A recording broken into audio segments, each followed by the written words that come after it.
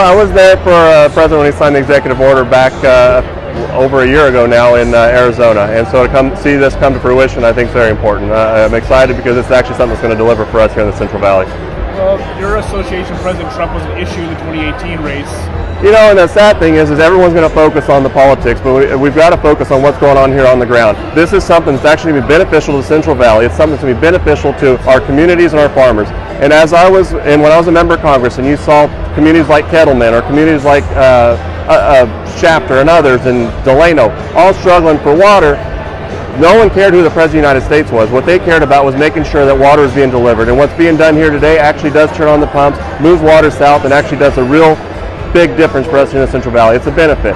And for all the naysayers, I know the governor wants to make the decision to take this on, but anyone that makes a decision to sue or to take this down has to remember that this is something that's going to benefit 25 million Californians. Do they really want to challenge something in court that was started under the Obama administration? It was career staff that developed it, and this administration continued on. The only thing that this president did was he put it in uh, high gear. He wanted to see this get done quick because he knew how important it was. We had a great year in 2019, but 20, uh, 2020 is already looking pretty dry. And so for this to come at this timely uh, moment is really important for us. Now, you say it's not about politics, but it's always about politics. No, I, I get the game that wants to be played. What's going on here is something that actually delivers for the Central Valley, and we can't spin that, we can't change that. What's going on actually delivers water to Central Valley.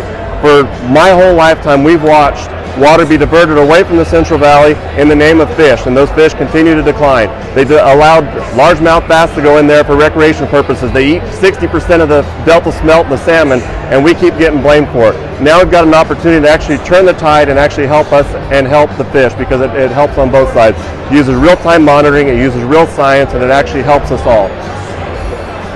Uh, any comment on, on, your upcoming race? Uh, you know, the information about reported our, uh, our colleagues here about uh, your opponent, Congressman Cox, and his problems at IRS? No, I'm not going to comment on that today. This is about water today.